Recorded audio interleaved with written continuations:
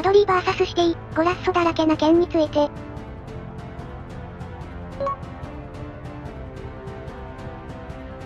何この試合、ゴラッソしか許されないんか？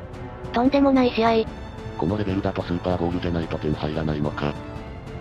ちょっと隙があればミドルでも確実に仕留めるのレベルが高すぎる。理不尽ゴールの応酬。ベルナルド・シューバの不意打ちフリーキックいきなりやばかったな。フォーデンはここ最近こんなのばっか決めててちょっと怖い。バルベルデフォーエグすぎた。バルベルデのシュート美しすぎた。グバルビオルもあんなミドル持ってたんかい。とりあえず神試合すぎたな。